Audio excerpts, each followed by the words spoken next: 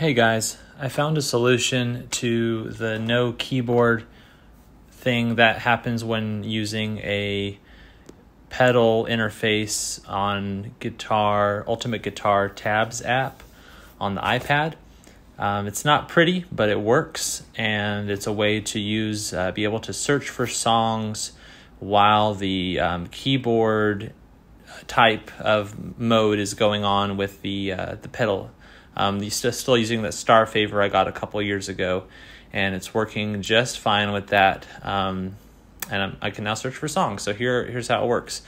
So first off, open up Notes, the Notes app, and this is one I was trying out. So let's go make a new note, and I'm gonna type in "Creep" from Radiohead. And I'm going to use the split screen function to pull up the guitar, Ultimate Guitar tabs in the right there.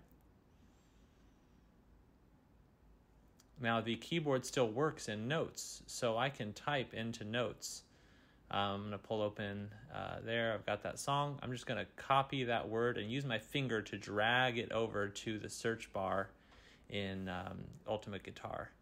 And there it is. It searched for the song. It's letting me open it. The Starfavor pedal's still plugged in. Um, I'm I can use it to uh, to scroll through the song, no problem. Doing it now.